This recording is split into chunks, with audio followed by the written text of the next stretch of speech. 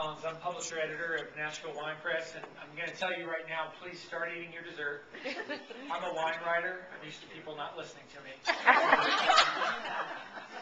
but it is an honor for me to be here tonight um, to introduce uh, and speak about, I should say, uh, the Norman M. Lippman Award recipient, Michael Broadbent, as well as his, his son Bartholomew is here. And, and I have to tell you, trying to surmise the accomplishments of these two men is very, very difficult. So if this seems a bit verbose, blame them because their accomplishments were many. So, uh, but let me tell you a little bit about Michael Broadbent first, so you know if you don't know his background. He was trained as an architect. Um, he then changed careers and became uh, part of the wine trade. And suddenly with that, constructed a resume that's, you know, quite frankly, it's unparalleled. After 13 years in the wine trade, he helped jumpstart Christie's Wine Auction, making it the premier wine auction house across the world. He started uh, pioneered wine auctions in Amsterdam, Geneva, Sydney, Tokyo, Hong Kong, and the United States. And that alone is an amazing accomplishment. But now I'm going to get into some of his wine writing, which he is very well known for, as well as his lecturing. 2003, he received the Wine Literary Award for 50 years of wine writing and also a James Beard Award for his book called Vintage Wine Book. He's been given the Glenfiddich Wine Writer of the Year Award and the Senior Wine Consultant for British Airways, named Decanter's Man of the Year, and added to Wine Spectator's Hall of Fame in 2002. And he does not just hold the title Master of Wine, but he actually was a past chairman for the Institute.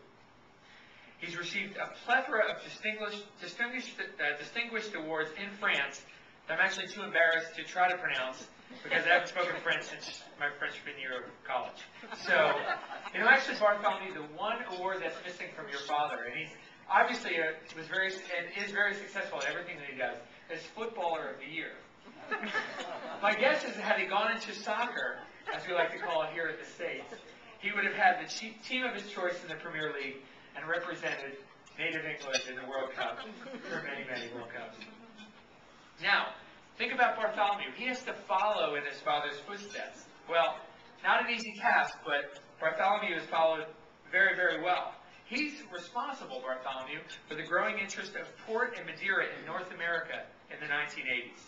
Founded Broadbent Selections in 1996, uh, which has a family of wineries across the world, including the newest, the newest edition called Dragon's Hollow, which is dubbed the first good wine out of China.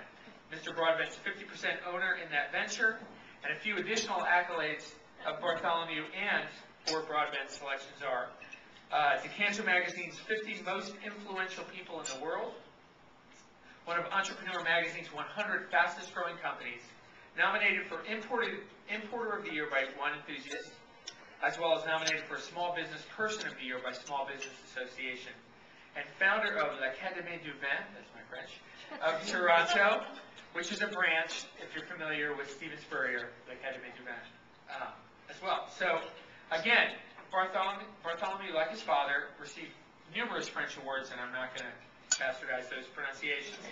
so, here in Nashville, we're the songwriting capital of the world, right? We love a good story. We love metaphor. We, we love analogy. We love to connect with things that warm our hearts. Well, in songwriting, we have this little thing called bookends, if you're familiar, and that's what we do is crafting a situation that's tied neatly at the end of the chorus or the end of the song. Okay?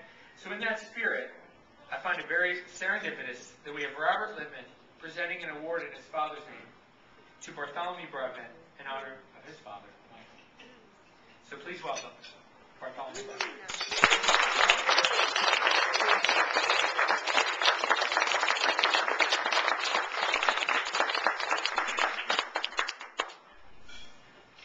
much, and it escaped me the symbolism of accepting the award from someone representing his father to someone representing his father. Um, I must say I'm fortunate that my father is still alive um, at the age of 82, and he is very uh, sad not to be here this evening. Um, he is greatly honored uh, by this award, and he actually tried to send me a, um, a, a, a very nice auction lot, the auction tonight, um, but I have to tell you, it wasn't tonight, it was two months ago. Um, so maybe we'll send something next year. We'll, we'll certainly keep contributing on his behalf. Um, but he's, uh, he's, uh, he's, he's sorry he couldn't be here because um, none of the reasons, well, primarily because he's 82 and he's um, had heart failure, uh, had a couple, had major heart surgery a couple of years ago, and he's just, time has just told him that he has to slow down and can't jump on the plane every time he gets an award. Um, but he's a great lover of life, lover of wine. Lover, people think he drinks a lot of wine, but he actually talks about how little he drinks. And seeing him in, in growing up, he, they really don't drink a lot. Um, my parents, they they don't drink anything much during the day. Well, morning time, they always have they always have um, champagne for breakfast because they find that the orange juice is just so boring without champagne. So they don't, then they, they go on, they don't have anything really until, well, at Christie's, my father always complained about the morning coffee at Christie's, so he always had a glass of Madeira instead. Um, nothing before, nothing until lunch. Well, well, before lunch, Bloody Mary or something like that. Sherry often, but obviously with lunch he'd have as part of his meal is, is white wine, red wine, and then port after lunch. But nothing really until dinner time, well, except the tea at Christie's at four o'clock. It's horrible, you'd have more Madeira. Um, but then nothing till dinner, which, well, six o'clock is the time you're allowed to start drinking um, in England, but they really waited before dinner, we eat late then. He wouldn't have his gin and tonic or whiskey till about 7.30. um, then he would have, um, obviously, wine, red, white wine, red wine, and uh, port for dinner.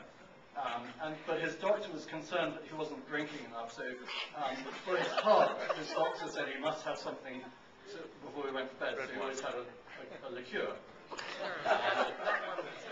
But really, I, it's interesting that that is his daily routine. I've never seen my parents um, drunk. Um, actually, maybe I've never seen them sober. but anyway, that is the way they are, and um, and that is the message I want to convey that we should all be drinking all the time. Um,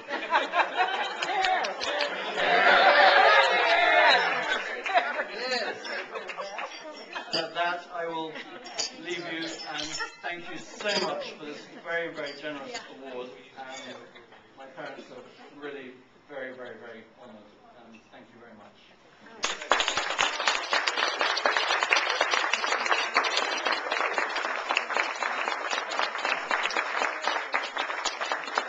I'm always playing I get the. No, but, uh, this is the owl, as you heard me talk about, it's on, it can be whatever you choose to want it to be, but at least it's just not a plaque. Yeah. Yeah. And, uh, but, but but the greatest thing about it, and you you give it to your dad, is that this is, uh, a steel worker from Murfreesboro, Tennessee, that's able to do phenomenal things with pieces, with a hard, cold piece of steel. And he's a Tennessee artist, and we're very, very proud of Terry Williams. So we hope your dad finds enjoyment out of that, and that he uh, adds some weight to it. And that, Thank you uh, so much. it may hopefully, uh, you'll probably never get a chance to come to Tennessee, but, uh, we hope that he does someday. He is head and spirit, Absolutely, absolutely. Thank you for being here. and, uh,